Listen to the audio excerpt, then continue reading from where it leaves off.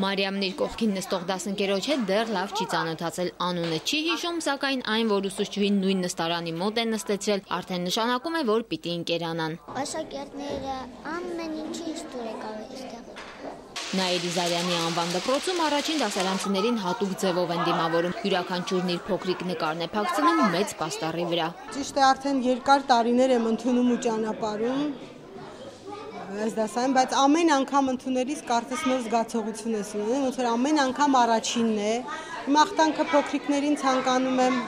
հաջողություն, առողջություն, անամպ երկինք, որ միշտ իրենց աչիկները ժպտան։ Իսկ արդեն այս թիվ 29 ավագ դպրոցում միայն տոն չէ։ 1920-ական թվականներին կառուցված ու երբևէ չնորոգված դպրոցն այժմ Մարիաքաղաքում ամենաժամանակակիցներից է։ 3 տարի առաջ դպրոցը նախկին վարչապետի անունն է ստացել այսօր մեջուկով նաև Անդրանիկ Մարգարյանի կիսանդրին է բացվում։ Նրա ընտանիքի անդամների, ընկերների ու պաշտոնյաների մասնակցությամբ։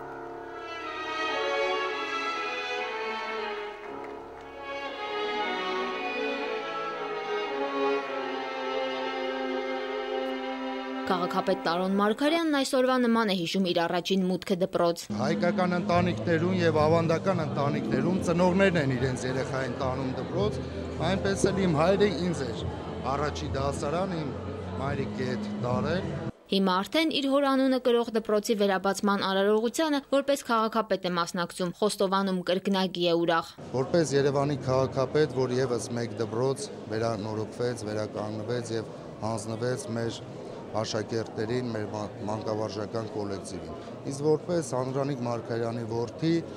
եւս տոն է, որ իմ հոր անունով կրող դպրոցը վերանորոգված եւ այսօր ընդունում է աշակերտներին։ Դպրոցի նորոգման աշխատանքները կառավարությունը լուրջ ուսումնասիրությունից հետո է կատարել։ Երկու գերատեսչություն կրթությանն ու քաղաքաշինությանը հարցը միասին են լուծել։ Ծախսվել է շուրջ 500 միլիոն դրամ պետական բյուջեի միջոցների հաշվին։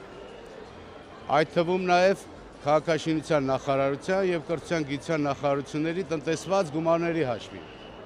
Ամբողջությամբ համար ամբողջությամբ դպրոցը արդեն իսկ համապատասխանում է իր չափորոշիչների, ժամանակակից դպրոցների։ Նախորդ տարի շրջանավարտների գրեթե բացարձակ մեծամասնությունը Երևանի ու արտասահմանի լավագույն բուհերն են ընդունվել։ Երկու տարի շինարարական աշխատանքների մեջ անցկացրած դպրոցը հիմա այլ ողջավորությամբ է գործելու, իսկ մինչ այդ այսօր երկար ժամանակ իսկական տոն են նշում եւ ոչ միայն դպրոցականները։ Աննա